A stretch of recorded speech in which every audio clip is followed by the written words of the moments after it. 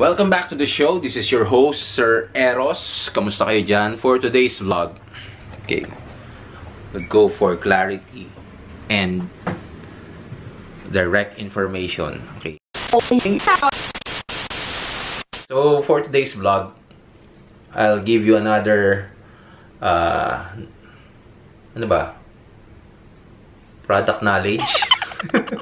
Or another insight na pwede nyong gamitin na maidagdag dun sa portfolio Okay? So, for today's vlog, it's something special because it is part of audiology na kokonti lang yung nag explore para do sa mga bago na nakakapanood nito. Maybe in the future, you could actually venture out to this kind of profession. Uh, what I'm talking about is, of course, uh, the use of audiological equipments So, uh, during our UST days or while we were in school, uh, siguro yung calibration module is more about audiometers, okay? So, uh, the reason why I'm sharing this is because during that time, parang uh, six slides lang yung ating uh, presentation about calibration. So, for this particular reason, uh, nakita ko yung opportunity din doon na parang why not share this knowledge to you? Baka magamit nyo sa portfolio nyo, di ba? Lalong-lalo na ngayon, hindi naman sa pag-ano, uh, mas mainam na na maging handa tayo kung ano man yung mangyayari sa ating mga career. Of course, uh, we need uh, to be uh, what you call this resilient during this time, di ba? So, ano nga ba yung calibration? Okay, calibration is basically, to keep it simple, is to set your equipment in a certain standard so that you would use or you would diagnose your patient with an accurate and precise results. Okay? Siyempre, kahit pa paano, kailangan natin ng accuracy and precision pagdating sa ating testing.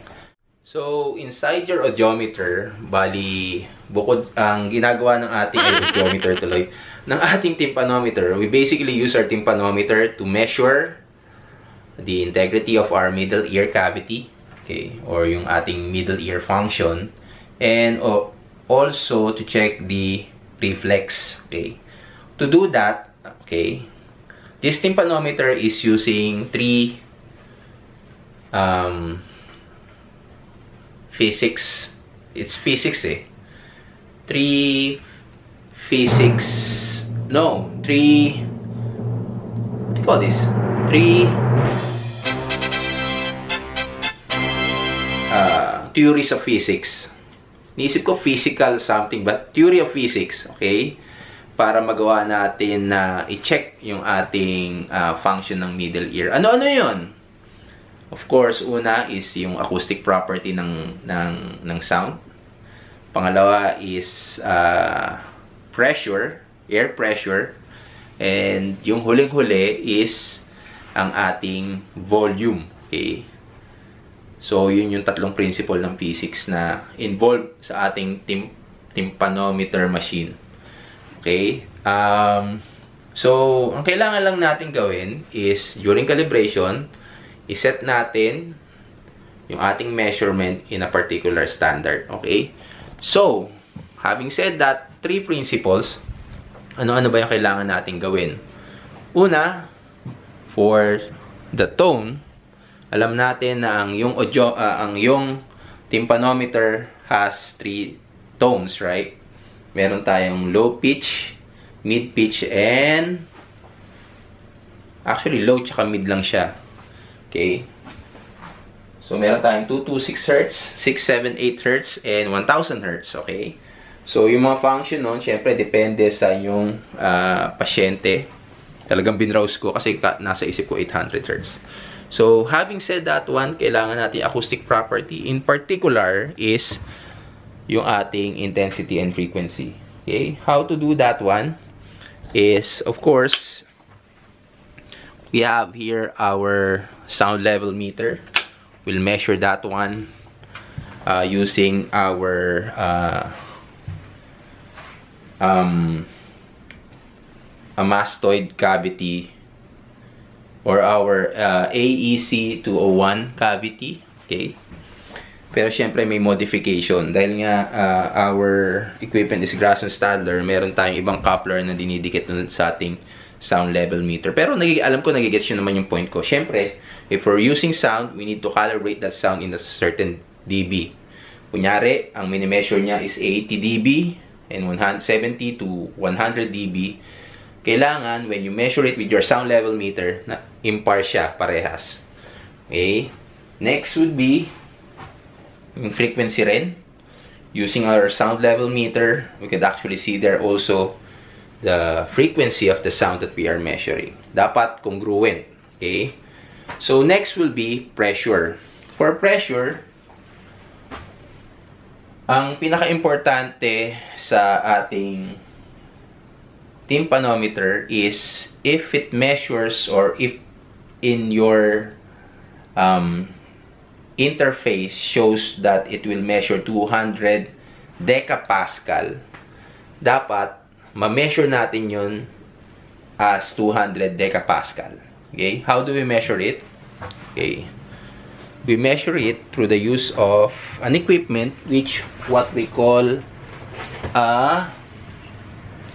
manometer. Okay. So, manometer, meron siya negative and positive pressure na kung saan ipapasok nyo yung probe dito sa dalawang tubes na to, tapos may readout.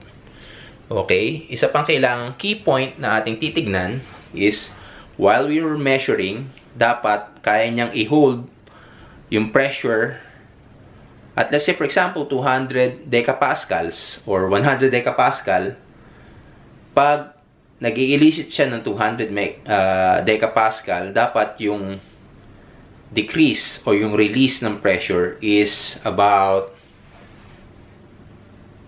0.5 decapascal per uh, second. So, dapat mabagal na mabagal siya. Ibig sabihin, yung pump mo is optimized. Okay, hindi siya, wala siyang leakage. Okay, otherwise, if may leakage, of course, kailangan niya siya for servicing. Okay, depende sa equipment.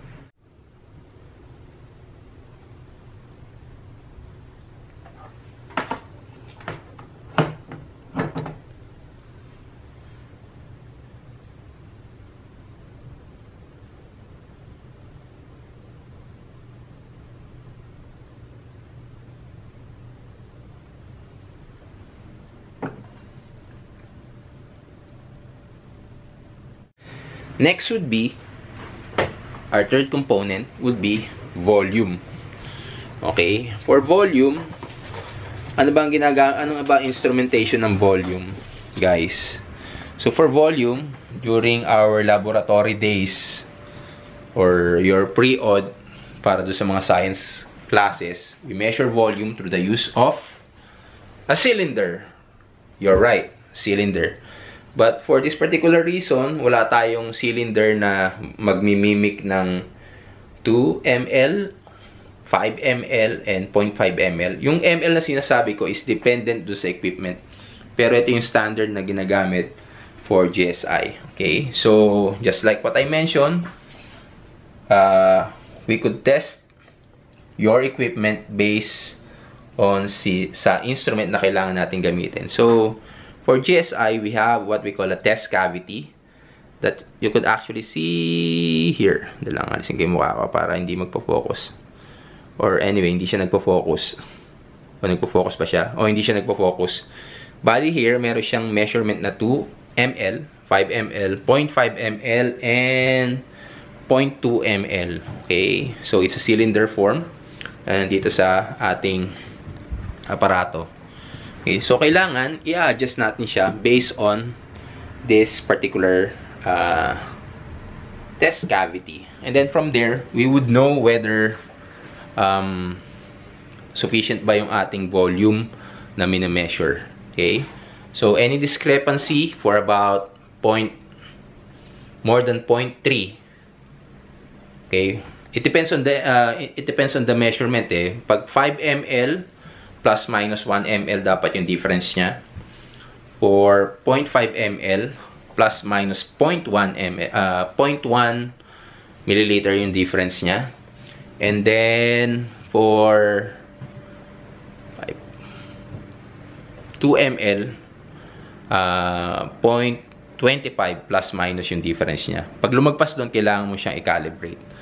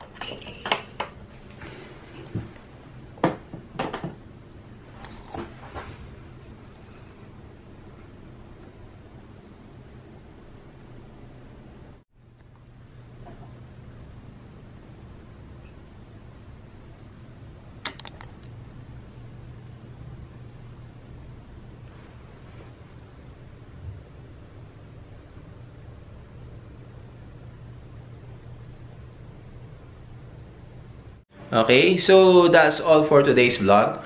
Thank you again for uh, spending time to learn new stuff here. Uh, try natin maglagay ng mga B-rolls para maintindihan nyo lalo yung ating pinag-uusapan. So, that's all for today's vlog. I hope you have learned something new and apply it. Okay? Pwede mo siyang sabihin sa resume mo na, oh, yung team yun yung konsepto niyan. Alam ko yung konsepto niyan. Okay? We don't fake it till we make it. Basta naiintindihan nyo yung theory behind it, learning is there. Alright? This is Sir Eros again saying we will make the disabled able by using tympanometry.